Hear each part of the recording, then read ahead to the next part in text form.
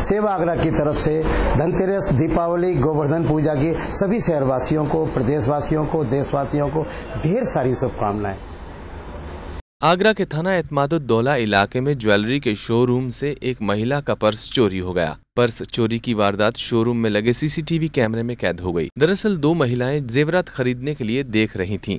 कि तभी नकाबपोश महिला घुसी और वो भी जेवरात देखने के बहाने पहले से बैठी महिला का पर्स चोरी करके भाग गई। तस्वीरों में आप देख सकते हैं कि नकाबपोश महिला ने पर्स पर पहले एक पॉलिथीन रख दी और उसके बाद धीरे से पर्स समेत पॉलिथीन लेकर भाग गई। फ़िलहाल पीड़िता की शिकायत पर पुलिस ने जाँच शुरू कर दी है। आगरा से ब्रिजभूषण, पंजाब केसरी टीवी।